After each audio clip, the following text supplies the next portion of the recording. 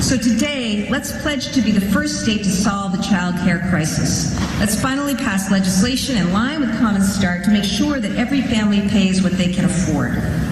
This is something that our families, our workers, our businesses all agree on.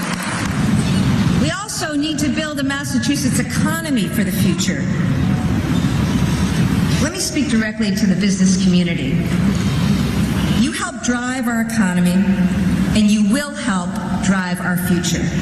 In me, in us, you'll have partners every step of the way. This begins with making sure that you have the workforce that you need. Tens of thousands of jobs in healthcare, transportation, and technology are going unfilled right now. Let's work with our community colleges and vocational schools and make sure that the training we offer meets the needs of companies in every region.